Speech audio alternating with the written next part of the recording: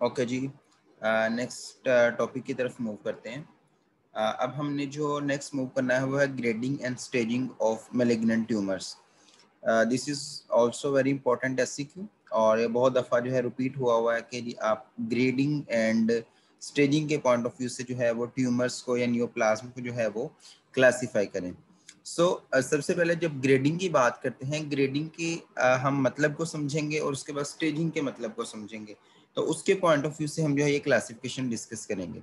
सबसे पहले हमारे पास जो ग्रेडिंग सिस्टम है, ये डिपेंड करता है ग्रेड या डिग्री ऑफ़ डिफरेंशिएशन पे कि जो हमारे पास ट्यूमर है, वो कितना ज़्यादा डिफरेंशिएटेड फॉर्म में उसके सेल्स मौजूद है। डिफरेंशिएशन मीन्स क्या होता है कि जो ट्यूमर के सेल्स हैं, वो अपने जो ओरिजिनल सेल है या फिर हमारे पास उसका स्टेम सेल है, उससे कितने जो है वो मैच करते हैं।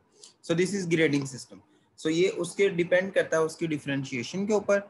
और ग्रेडिंग स्कीम जो हमारे पास टू कैटेगरी से होती है लो ग्रेड होते हैं और high grade two four categories जो कि increasing anaplasia anaplasia mean lack of differentiation और loss of differentiation this is called as anaplasia so उसकी बेस के ऊपर हम जो है इनको डिफरेंशिएट करते हैं। ठीक हो गया? सो so, इसके बाद जो हमने नेक्स्ट मूव करना है वो है हमारा सो so, इस तरह से हमारे पास जो एनाप्लेजिया का जो है वो जितना ज़्यादा एनाप्लेजिया होगा मीन जितना लॉस ऑफ़ डिफरेंशिएशन होगा इट मीन्स कि उतना ट्यूमर ज़्यादा जो है उसका स्प्रेड होगा। उसके बाद स्टेजिंग की बात करें तो इस पे डिपेंड करता है साइज़ कि प्राइमरी लेयन जो है या प्राइमरी ट्यूमर जो बना है उसका साइज़ कितना है और उसका स्प्रेड कितना है लिम्फ नोड्स तक। सो so, इसके ऊपर डिपेंड करती है इसकी स्टेजिंग सो so, दो करंटली जो है वो स्टेजिंग के और इसी तरह ग्रेडिंग के जो है वो सिस्टम चल रहे हैं। पहला सिस्टम जो है यूनियन इंटरनेशनल जो सेंटर कैंसर है काउंटर सेंटर है उसके UICC के according T N M system जो है वो हमारे पास बनाया गया। जिसमें टी जो है प्राइमरी ट्यूमर के लिए एन जो है वो हमारे पास रीजनल लिम्फ नोड तक स्प्रेड के लिए और एम जो है वो मेटास्टेसिस के लिए बनाया गया।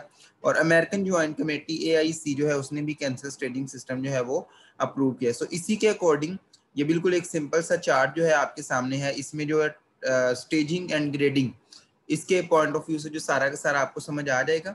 सबसे पहले तो टी एन एम सिस्टम के अकॉर्डिंग टी जो है हमारे पास T zero T one T two T three T four इसमें हम देखेंगे साइज़ कितने।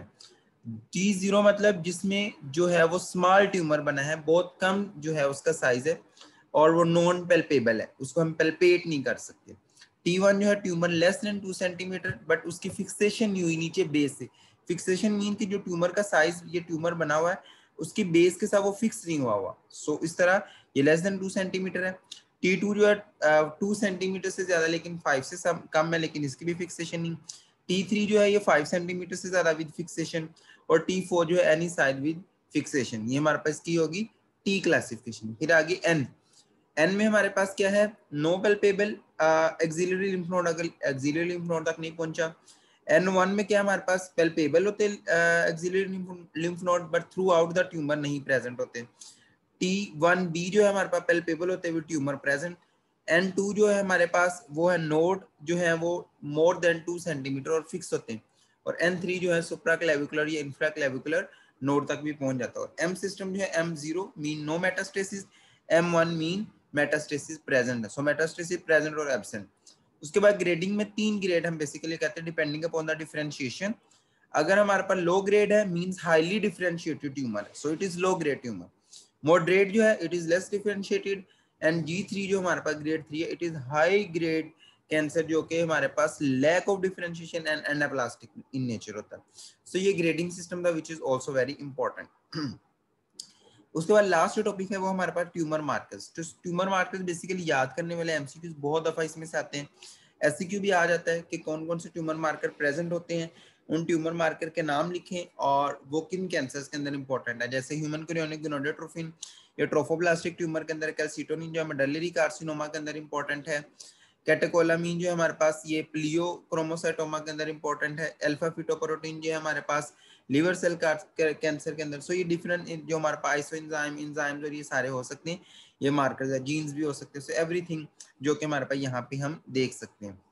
लास्ट नंबर पे लैब डायग्नोसिस की बात करें हिस्टोलॉजिकल लैब डायग्नोसिस में हम एक्सीएन में या बायोप्सी करते हैं नीडल एस्पिरेशन करते हैं और साइकोलॉजिकल स्मीयर बनाते हैं। सो so, इस तरह से हम ये सारी के सारे इनके कंप्लीट करते हैं। So this is all about the neoplasia next topic के अंदर इंशाल्लाह हम लोग जो है एक दफ़ा नेक्स्ट लेक्चर के अंदर हम एक क्वेश्चन की सीरीज़ करेंगे ताकि आपका सारा टॉपिक क्लियर क्लियर हो जाए। तो आप देख, एक दफे ये लेक्चर सुनेंगे और उसके बाद एस करेंगे तो आपका ये पूरा टॉपिक इनशाला कवर हो जाएगा। So thank you so much अल्लाह हाफिज़।